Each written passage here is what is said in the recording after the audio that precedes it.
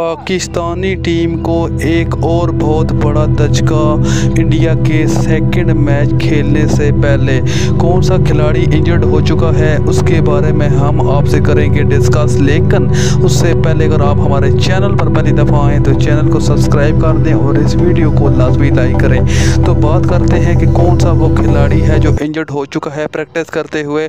तो बात करते हैं कि वो उस खिलाड़ी का जो नाम है, वहाँ पर शाह नवाज़ धानी का नाम है जो शाह नवाज़ धानी प्रैक्टिस करते हुए जो है, वो इंजर्ड हो गए हैं, जिसकी वजह से वो इंडिया के ख़िलाफ़ मैच में दस्तियाब नहीं होंगे। वहाँ पर उनकी रिप्लेसमेंट पर किसी और खिलाड़ी को भेजा जाएगा। हो सकता है उनकी जगह पर हसन अली को या मोहम्मद हसनैन को टीम में शामिल किया जाएगा। उसके बारे में फ़ैसला कल इन हो जाएगा। और जो लोग चैनल पर पहली दफ़ा आ रहे हैं चैनल को सब्सक्राइब और वीडियो को लाजमी लाइक करें। शुक्रिया।